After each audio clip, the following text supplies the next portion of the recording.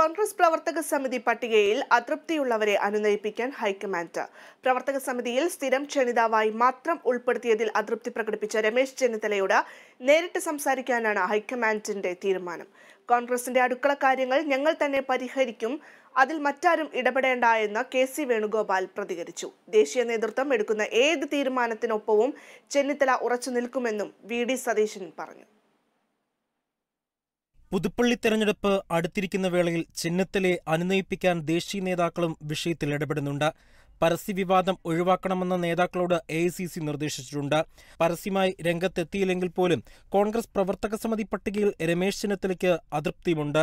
ഇപ്പോഴുള്ളത് പത്തൊൻപത് വർഷം മുൻപുള്ള സ്ഥാനമാണെന്നും പ്രമോഷൻ ഉണ്ടായിട്ടില്ല എന്നുമാണ് രമേശ് ചെന്നിത്തലയുടെ പരാതി. രണ്ടു വർഷമായി പദവികളിൽ നിന്നും ഒരു ചർച്ചയും നടത്താതെയാണ് ഈ തീരുമാനം കൈക്കൊണ്ടതെന്നും ചെന്നിത്തല ആരോപിച്ചിരുന്നു. പരസ്യ പ്രതികരണത്തിനില്ലെന്നും തന്റെ വികാരം പാർട്ടി അറിയിക്കുമെന്നും ചെന്നിത്തല വ്യക്തമാക്കിയിരുന്നു. ഇതിനു പിന്നാലെയാണ് A general secretary K C Venugopal പ്രതികരണവുമായി രംഗത്തെത്തിയത്. കോൺഗ്രസ് പോലുള്ള ജനാധിപത്യ പാർട്ടിയിൽ ഞങ്ങളുടെ ഇടയിലുണ്ടാകുന്ന പ്രശ്നങ്ങളൊക്കെ പരിഹരിക്കാനുള്ള കപ്പാസിറ്റിയും കേപ്പബിലിറ്റിയും ഞങ്ങൾക്ക് വിട്ടതാണ് അത് ഞങ്ങൾക്കുണ്ട്. ഞങ്ങളുടെ നേതാക്കന്മാരല്ലേ? അത് ഞങ്ങളുടെ അടുക്കളയിലെ കാര്യങ്ങളാണ്. അതൊക്കെ ഞങ്ങൾ പരിഹരിക്കും. ഭംഗിയായിട്ട് പരിഹരിക്കും. അവരൊക്കെ അഭിപ്രായം രമേശ് ചെന്നിത്തല കേരളത്തിലെ മാത്രമല്ല ഇന്ത്യയിലെ തന്നെ കോൺഗ്രസിന്റെ ഏറ്റവും പ്രധാനപ്പെട്ട നേതാക്കന്മാരിൽ ഒരാളാണ്.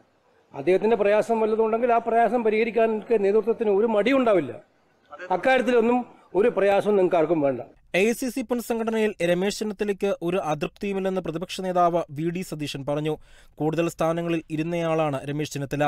എല്ലാവരുടെയും രാഷ്ട്രീയ ജീവിതത്തിൽ ഉയർച്ചയും താഴ്ചയും ഉണ്ടെന്നും ചെന്നിത്തലയുടെ പ്രവർത്തക സമിതി അംഗത്വവുമായി ബന്ധപ്പെട്ട് മാധ്യമങ്ങൾ അതൃപ്തി ഉണ്ടാക്കേണ്ടതില്ലെന്നും സതീശൻ കോട്ടയത്ത് പറഞ്ഞു.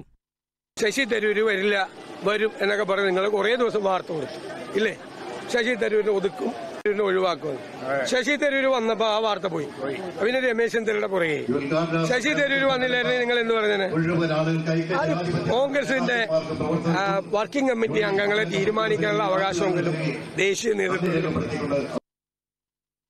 അതൃപ്തിയുള്ള നേതാക്കളോട് കോൺഗ്രസ് അധ്യക്ഷൻ മല്ലികാർജുൻ ഖാർഗെ സംസാരിക്കും.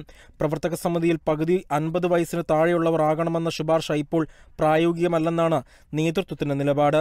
എന്നാൽ കേരളം ഉൾപ്പെടെ ചില സംസ്ഥാനങ്ങളിൽ തെരഞ്ഞെടുപ്പിന് മുൻപ് നേതൃമാറ്റം ആവശ്യമുണ്ടായിരുന്നതിനാൽ ചർച്ച നടത്താനും എ തീരുമാനിച്ചിട്ടുണ്ട്. പൊളിറ്റിക്കൽ ഡെസ്ക് കലാവിഷ് ന്യൂസ്.